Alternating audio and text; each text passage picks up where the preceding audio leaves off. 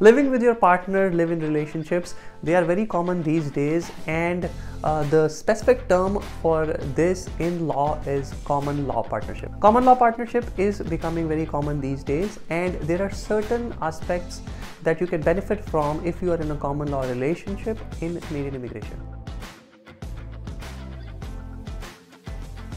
Welcome back to the channel guys. My name is Dhruv. I'm a regulated Canadian immigration consultant. At our firm Effizient Immigration Inc. we assist all prospective immigrants with their immigration uh, to Canada. Uh, so if you're looking for any assistance, you can feel free to contact us. Our contact information is right here. You can email us, call us, WhatsApp us, and we would be happy to help you. If you want to talk to me personally about your case, you can feel free to book a consultation. The link is given in the description below. What is common law partnership? So the simple definition of common law partnership is if you have lived with your partner in a conjugal relationship for at least one year continuously, then you become common law partners. Now, what is the main word here? The main word is living together with your partner as conjugal partners. Conjugal partner basically means that you are living as if you were married. You are not married legally but you are living together as married couple. What that means is that you are exclusively seeing each other and you are in a relationship and you're not seeing anyone else. Now once you complete one year of cohabitation with your partner as a conjugal partners then you become common law partners. And once you become common law partners same as a spouse is able to sponsor their partner or um, they are able to help with work permits. You can also sponsor your common law partner for work permits or even for permanent residence. So the big myth that you have to be married in order to apply for spousal sponsorship or spousal open work permit is not true. You can still do it if you're common law partners. And what do you need to prove your common law partnership? Let's talk about that. The first important piece of document is a statutory declaration. This is the IMM form that you need to fill out and sign in front of either a notary public or a commissioner of oath or commissioner for taking affidavits. If you are completing this form, you need assistance, you can contact us and we can uh, administer your signing of this form because we are commissioner for taking affidavits. Now this form basically showcases your dates in terms of from and to date of your cohabitation and uh, it, it declares to the government of Canada, uh, specifically IRCC, that you are common law partners.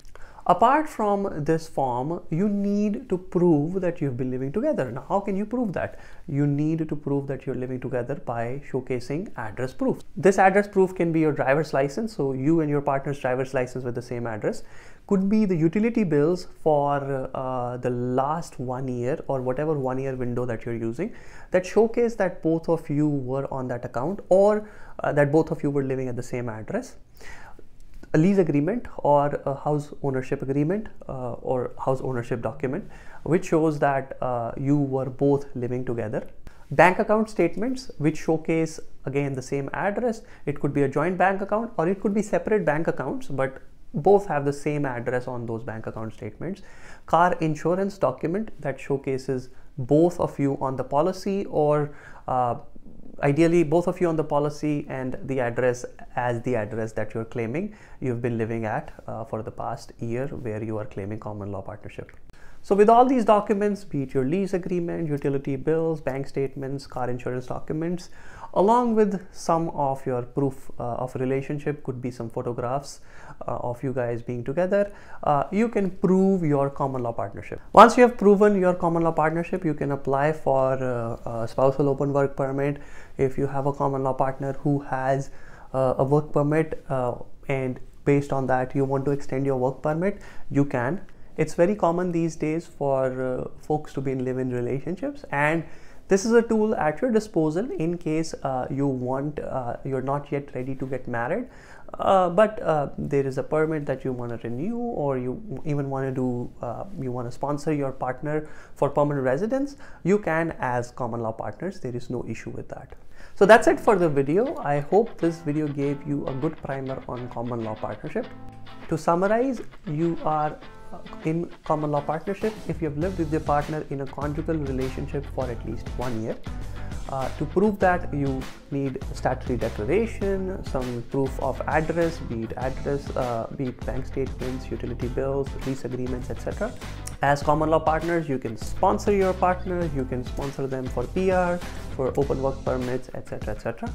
In case you have any further questions or you are concerned whether you fulfill the criteria of common law partnership, you can always contact us.